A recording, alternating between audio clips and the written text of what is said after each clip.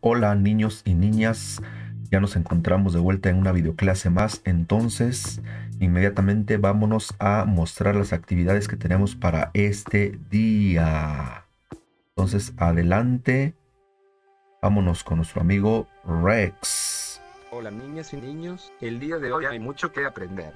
¿No es así, profesor Gabriel? Así es, mi estimado amigo, entonces vámonos adelante porque hay muchas cosas que aprender con todos los niños y las niñas. Precaución. Todos los materiales pueden utilizarse con flexibilidad y creativamente. Así es, los materiales hay que adaptarlos, hay que adecuarlos de acuerdo a nuestras necesidades, a las necesidades de nuestros niños y niñas. Y bien, en el módulo 7, Aprendo Mates con Rex, nos toca trabajar el tema configuraciones geométricas, pero de eso nos va a hablar Michigan. Pues empezaremos por algún lado, sí, por las actividades de apertura. Arránquese, profe, que los chiquitines y chiquitinas están impacientes. Gracias, Michigan. Entonces vámonos adelante. Y el tema, tal como lo dijimos, se llama figuras geométricas y ahí en específico vamos a ver la forma de algunas figuras, pero eh, sobre todo la forma de las cosas primero, ¿no? ¿Qué forma tiene, por ejemplo, este, nuestra cama, la ventana, etcétera. Su tamaño, vamos a ver los diferentes tamaños, la posición que tienen con respecto a otras figuras y por último vamos a armar formas vamos a hacer lo que se llama configuraciones, ¿sí? En este caso configuraciones geométricas. Entonces avanzamos, los materiales son material recortable 4 que está al final de nuestro libro y tabla en la que identifique algunas figuras. Entonces eso nos dice el pajarito. Vámonos adelante. Entramos a el nivel concreto. Ustedes ya saben de qué se trata. Y en la actividad número uno vamos a observar con atención diferentes espacios y cosas del lugar donde viven. Y por ejemplo un cuarto y observar qué es lo que hay ahí. Y para empezar vamos a poner algunos ejemplos de las cosas reales o concretas que tenemos o que podemos observar. Aquí tenemos una puerta, después tenemos aquí a una niña viendo por una ventana. También tenemos ahí unos discos compactos, entonces vamos viendo la forma que tienen. Sí, tenemos, tenemos una moneda de 10 pesotes. Tenemos un gran tapete ahí, muy bonito. Sí, observen la forma que tiene. Tenemos también esa mesa y sobre todo aquí eh, la forma que yo sugiero que vean es la parte donde nosotros colocamos nuestras cosas, ¿no? Es decir, la parte de arriba. Aquí también tenemos un gancho para colgar ropa, un gancho de madera. Hay que ver qué figura o qué forma tiene, ¿no? También tenemos este instrumento que utilizan en la escuela todos los niños y niñas, sobre todo a partir de tercer grado, me parece. ¿no? Entonces hay que ver qué forma tiene ese instrumento. Y después de eso vamos a realizar la siguiente actividad. Con la ayuda del tutor vamos a anotar el nombre de las cosas que nosotros observemos en nuestra casa. ¿sí? Y nos vamos a guiar por las figuritas que tenemos acá. ¿sí? Por ejemplo, aquí tenemos una forma eh, digamos que cuadrada, entonces vamos a anotar qué cosas reales hay en nuestra casa, sí, que tengan esa forma. Luego formas de este tipo, rectangulares, entonces vamos a anotarlas acá, formas circulares, así como este emoji. Luego formas triangulares y tenemos formas como el romboide, y como el romboide igual vamos a ir anotando las formas que este, nosotros este, podamos identificar en casita. ¿Sale? Entonces lo que vamos a hacer ahí. Espero que quede claro. Son cinco este, objetos, cinco cosas, cinco formas reales. Vamos a anotar el nombre ahí en la tabla.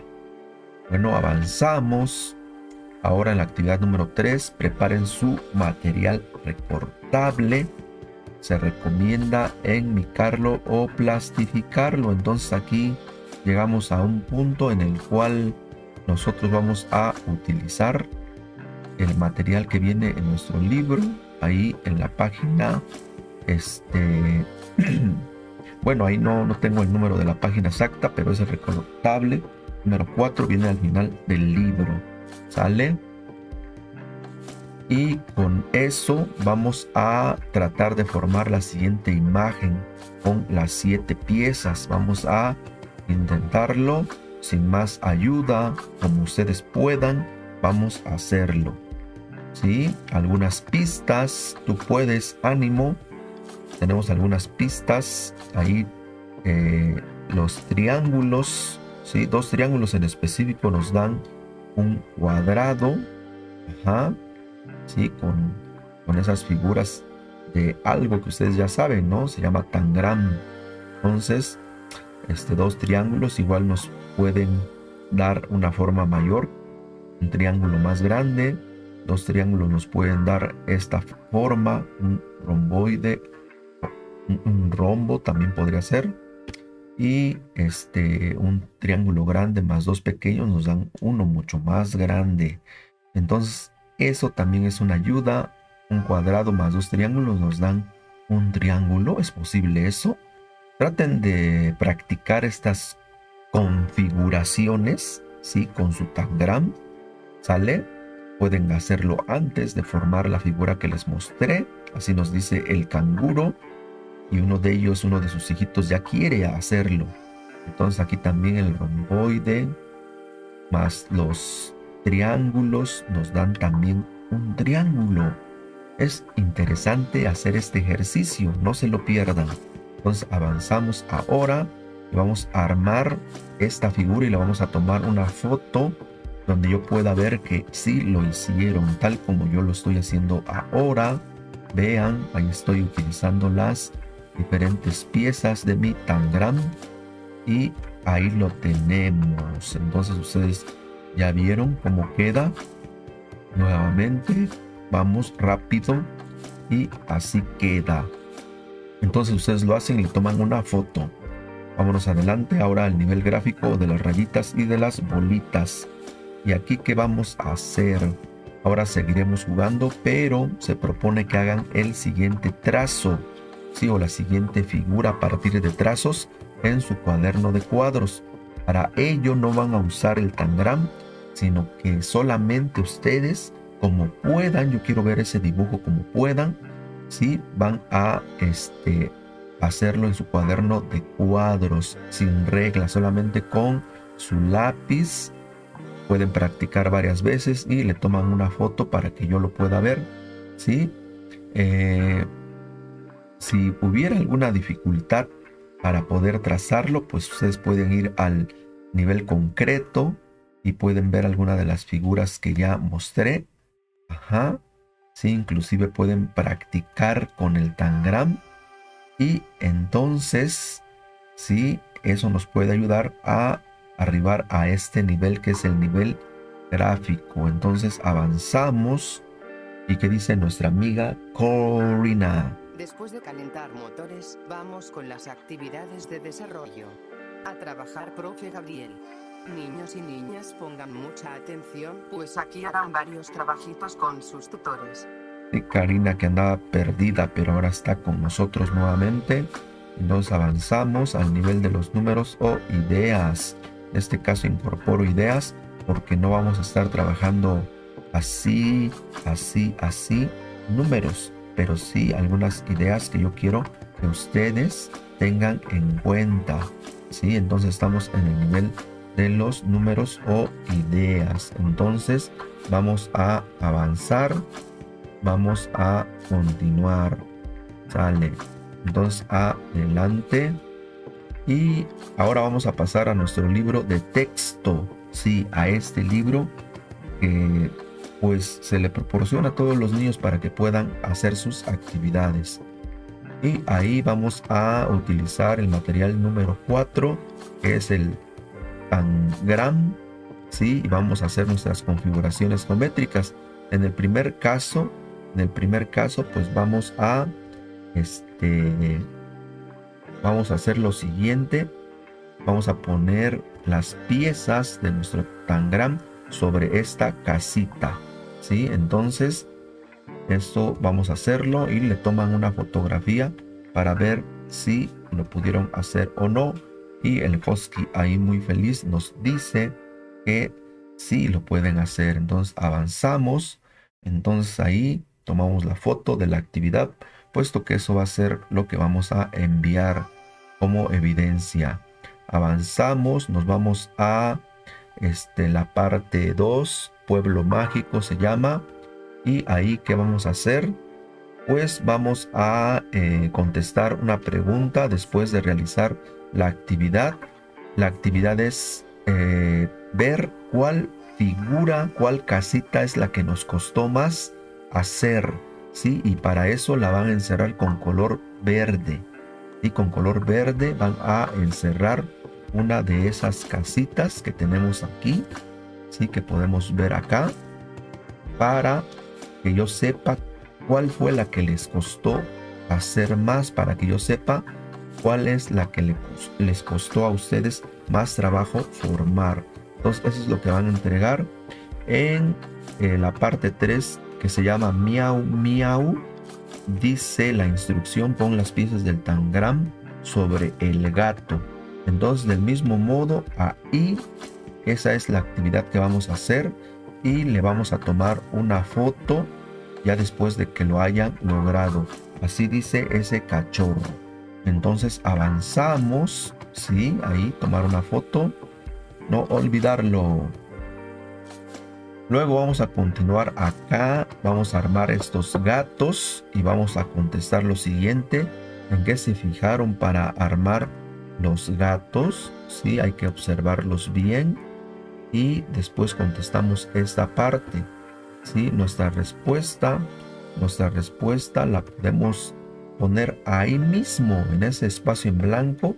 Ahí pueden contestar con ayuda de su tutor y si tienen dificultades para este, decir o para contestar eso, podemos también regresar al nivel gráfico. ¿sí? Y en el nivel gráfico pueden practicar haciendo el trazo en su cuaderno o en alguna otra hoja. ¿sí? De ese modo ustedes pueden este, seguir practicando y pueden darse cuenta cómo los diferentes niveles, si el gráfico, el concreto, el numérico se relacionan.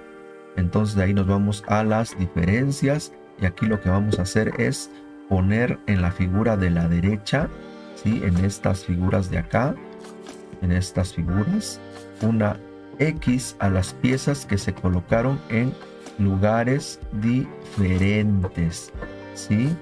Eso es lo que vamos a hacer y vamos a contestar cuáles fueron las piezas que se acomodaron de diferente manera. Pues de hecho eso lo vamos nosotros a poder contestar ya que ustedes identifiquen qué piezas se pusieron de manera diferente y las vamos a eh, colocar una X, una X, ¿sí? En la parte que corresponda. Entonces avanzamos Vámonos adelante.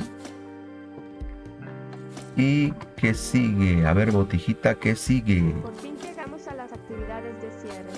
Es muy importante reflexionar sobre lo que hicieron. También pueden comprobar lo que aprendieron realizando pequeñas pruebas. Muy bien, botijita. Entonces, tú nos sugieres hacer pequeñas pruebas. Tienes razón. Por eso es que yo los remito a los diferentes niveles para que utilicen su material ¿sí? en diferentes este, actividades. Entonces avanzamos y aquí vamos a reflexionar sobre lo siguiente. Realizaron las actividades tal como yo las propuse. Puedo formar las figuras que se propusieron empleando el tangram. Ahí puse una M en lugar de una N. Estoy viendo un error ortográfico. Y luego me esforcé lo suficiente en cada una de las actividades? Eso les pregunta el amigo Rex. Entonces avanzamos, vamos a avanzar. Sí, ahora entramos a educación artística y recuerden que el conocimiento es poder. es lo que vamos a hacer acá? Pues aquí nos dicen que no todo lo que brilla es oro. Platiquen con el responsable qué significa esa expresión. No todo lo que brilla es oro. Aquí en la ficha número 6 para educación artística dice no todos son iguales, entonces hay que observar a las figuras, ¿sí? cada una de ellas y vamos nosotros eh, a identificar y pintar de rojo el detalle que lo diferencia. ¿sí? No van a pintar todo el dibujo, sino que solamente la parte, el detalle de una de las figuras, ¿sí? De cada fila hay algo que la hace diferente, entonces eso es lo que vamos a pintar de color rojo. Y ahí trabajamos la percepción y la atención. Así nos dice nuestro amigo Bob Esponja, el conocimiento es poder. Entonces hay que eh, ponerlo a trabajar, no esa, esa mente o todo nuestro cuerpo, porque en realidad somos solo uno. Entonces ahí está trabajando todo, ¿no? Entonces avanzamos. ¿Qué dice nuestro amigo Champs? Permítanme preguntar, ¿aún siguen ahí niños y niñas? ¡Qué bien! Aquí viene lo que van a entregar de tarea. Pues bien, nos vamos a ver qué es lo que vamos a entregar de tarea, amigo Champs. Y pues el trabajo 67 es la tabla con los nombres de las cosas que identificó el alumno, cosas reales, los nombres, vamos a ayudarles a escribirlos en la tabla. Y no olviden que aquí articulan español al momento de que practiquen esas palabras que a lo mejor el niño no puede escribir. Con el alfabeto móvil, le hacemos la tarjeta. Y hay muchas actividades, ya las conocen el trabajo 68, foto de la figura del pato que yo armé y que el alumno armará. Entonces hay que sacarle una foto.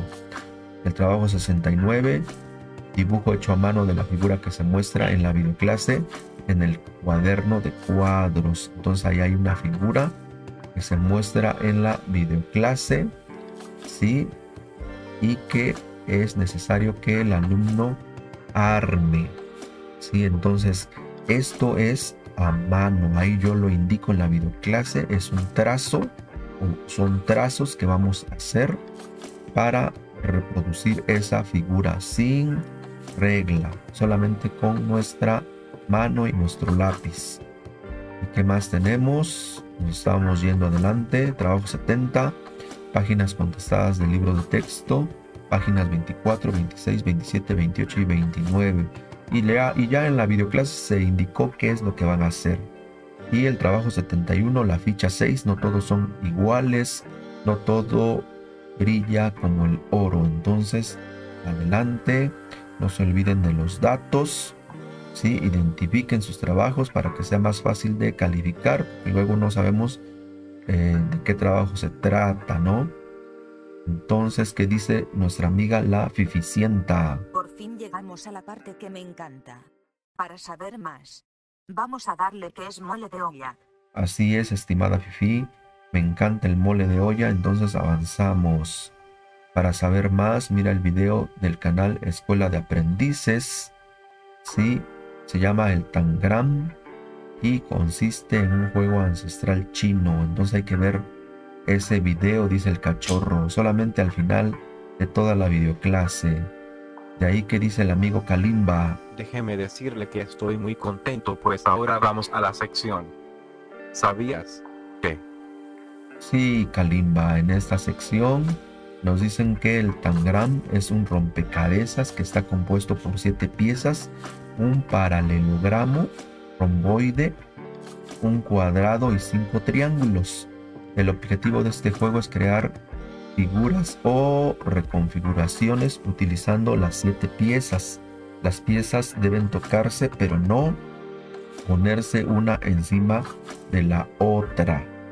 Y eso lo saqué de Wikipedia. Entonces pueden consultar ese texto, tiene más información. Así dice el coyotito. Y en sesión virtual, ya saben, nos estamos viendo ¿sí? El día de mañana miércoles a las 2 de la tarde. Ayer ya nos vimos. Y aquí en línea, en específico, quiero señalar que aquí en el blog, ¿sí? En este blog aparecen los videos más recientes o pueden ir directamente al canal o también a nuestras redes sociales. Y de este lado tenemos más rompecocos. En esta ocasión pueden repasar con palabras que comienzan con la sílaba ma o que comienzan con ma como mano. También con me como mesa, con mi, sí, como mirar, como como moneda y con mu como música. Entonces ahí tienen esos materiales en línea para que ustedes puedan trabajar. Y con eso hemos llegado al final de esta videoclase. Nos estamos viendo en la siguiente entrega y nos despedimos y ya saben ustedes cómo. Bueno niñas y niños, eso es todo por el día de hoy. Nos estamos viendo muy pronto en la siguiente video clase.